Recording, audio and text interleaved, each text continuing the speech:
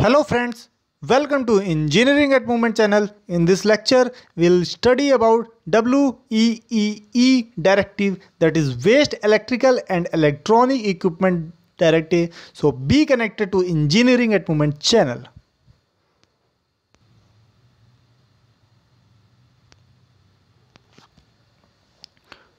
WEEE stands for Waste Electrical and Electronic Equipment Directive.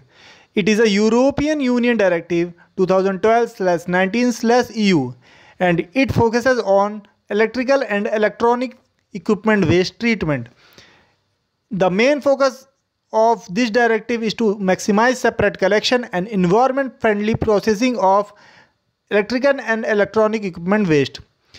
You can recycle your electrical and electronic equipment waste on local recycling center but important point to be noted is that they should be government approved. WEEE directive aims to minimize the impact of such equipments on environment and uh, when it become waste. So main focus is to treat these waste, to recycle this waste, to collect this waste and to recover these waste. Most of the electronic goods contain hazardous material like heavy metals and batteries and they can cause serious damage to environment and human health. Once WEEE is sent to appropriate treatment facility, it is shredded into small pieces. These small pieces contain ferrous metals and non-ferrous metals. Ferrous metals are segregated using strong magnets and non-ferrous metals are uh, uh, non-magnetic metals or non-ferrous metals are segregated using eddy currents.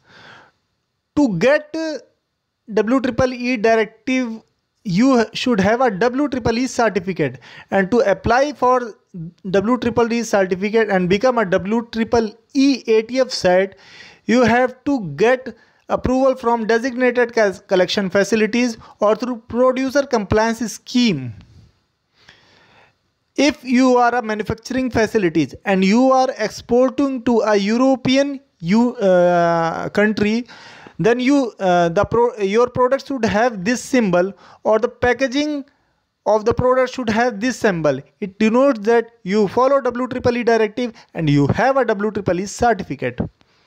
I hope this lecture will be beneficial for you and it would have increased your knowledge and uh, friends if you like this lecture please like subscribe and share our videos and be connected to engineering at movement channel. Thank you